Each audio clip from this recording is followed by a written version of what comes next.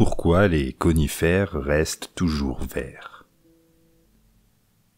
Chaque année, à l'automne, lorsque les jours deviennent plus courts, le soleil bien moins chaud, de nombreux oiseaux partent pour les pays chauds afin d'y passer l'hiver.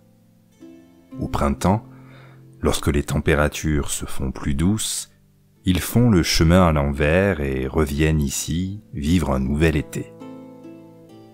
Les forêts qui comptent le plus d'oiseaux migrateurs sont les forêts du Grand Nord. Là-bas, les hivers sont rudes et le gel souvent terrible, à tel point que les oiseaux pourraient y mourir de faim et de froid. Il y a bien longtemps, dans ces forêts du Grand Nord, vivait un jeune merle. Pendant l'été, il avait bien grandi et était devenu un merle fort et robuste qui chantait comme son père, son grand frère, ses oncles et ses cousins. La veille du grand départ vers le sud, tous les oiseaux participaient au dernier vol d'entraînement lorsqu'un grand héron heurta le jeune merle de plein fouet. Tu ne peux pas faire attention Abruti s'exclama le héron en colère. Il faut bien se dire que la colère du héron cachait le fait qu'il se savait en faute. Notre ami le jeune merle, sonné par le coup, tomba sur le sol comme une feuille d'automne. Son aile le faisait souffrir et elle pendait bizarrement. Il avait terriblement mal. Ton aile est cassée, lui dirent les vieux merles, forts de leur expérience. Tu ne pourras pas nous accompagner demain, car tu te noierais à coup sûr dans la mer. Tu vas être obligé de rester et de passer l'hiver ici. Il faut te trouver un abri dans la forêt. Au printemps, nous passerons te reprendre ici. Le jeune merle était effrayé. Il n'avait pas le choix. Il lui fallait rester, et c'est bien triste qu'il regarda le lendemain ses parents et ses amis s'envoler vers le ciel sans tache d'Afrique. Il les regarda longtemps, jusqu'à ce qu'ils ne se distinguent plus dans le ciel. Le cœur gros et les plumes tristes, il se mit à la recherche d'un abri. Mais où trouver un coin pour passer l'hiver dans cette grande forêt? Il avait marché longtemps lorsqu'il rencontra un vieux chêne imposant. Dites-moi, monsieur le chêne, puis-je, s'il vous plaît, construire un nid entre vos grandes branches. Je ne peux pas m'envoler vers les rayons chaudes car je me suis cassé une aile. Ce ne sera que pour un hiver. Me le permettez-vous, s'il vous plaît?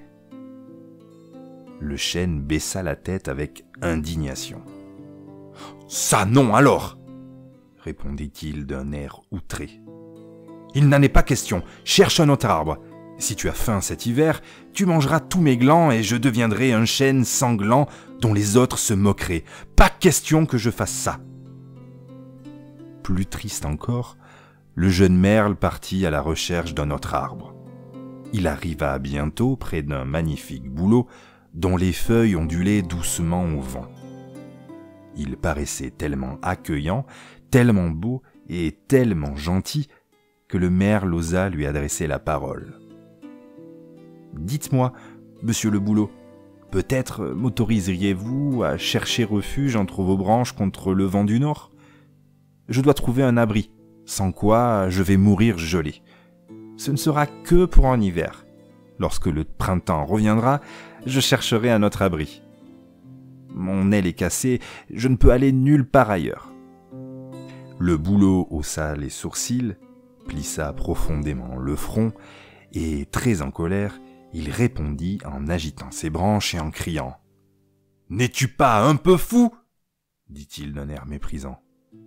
Garder mes propres feuilles me donne déjà suffisamment de travail.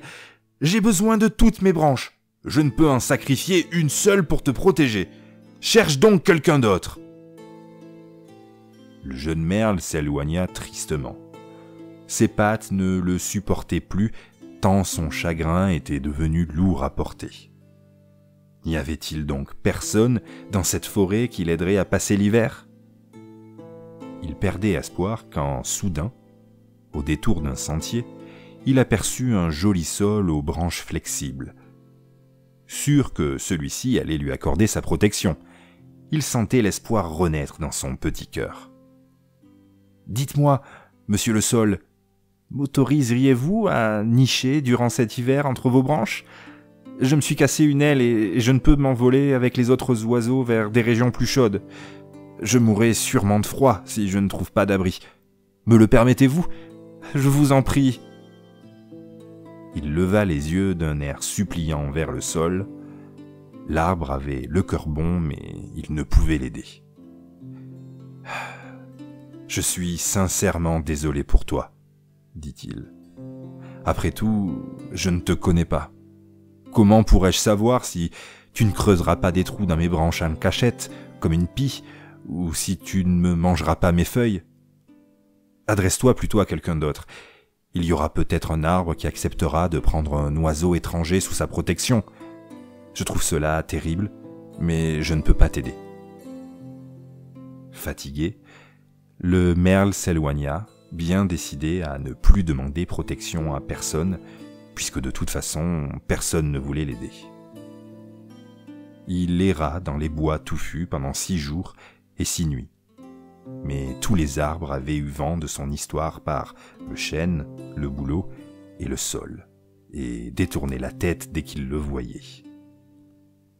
Le septième jour, le merle arriva dans une clairière où se tenaient trois arbres les uns à côté des autres, un sapin, un pin et un genévrier.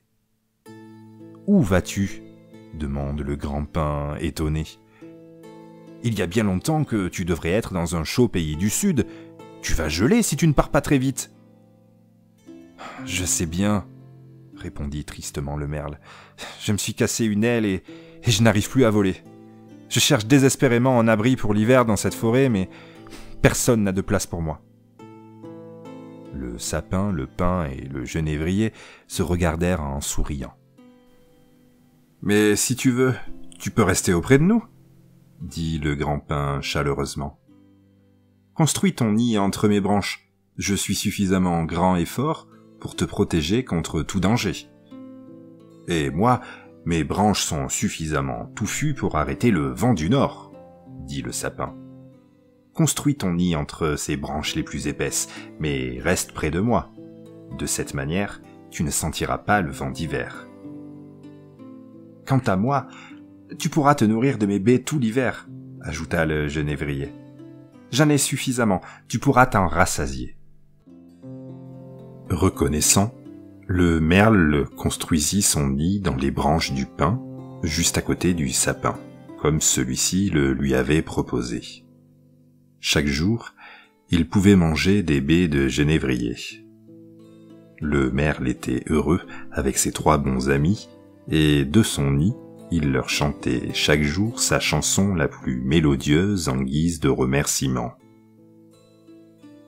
Lorsque le vent du nord arriva, un frisson parcourut la forêt. Le vent souffla d'abord toutes les feuilles du chêne et les fit tourbillonner jusqu'à ce qu'elles forment un tapis sur le sol. Il s'approcha ensuite du bouleau et lui arracha également toutes ses feuilles en riant et en mugissant. Le bouleau résista de toutes ses forces, mais le vent du nord était plus fort que lui. Après son passage, le bouleau resta là, les branches nues, à frissonner de froid. Ce fut ensuite le tour du sol. Le vent du nord tourna autour de lui comme une toupie et chassa toutes ses feuilles une à une. Il arriva ensuite près du sapin, du pin et du genévrier. Soudain, retentit une voix forte. Stop c'était le roi hiver qui passait par le bois, la tignasse blanche comme neige et des stalactites pendues à ses mains. Laisse ces trois arbres tranquilles, commanda-t-il. Je n'ai pas pitié des autres, mais ces trois-là ont aidé un jeune merle qui demandait de l'aide. Comme récompense, ils pourront rester verts pour toujours. Le vent du nord jeta un coup d'œil étonné à travers les branches du pin.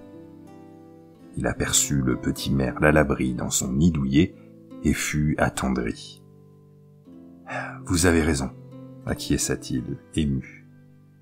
Je vais les laisser en paix. Voilà pourquoi, depuis ce jour, tous les pins, sapins et genévriers restent aussi verts l'hiver que l'été.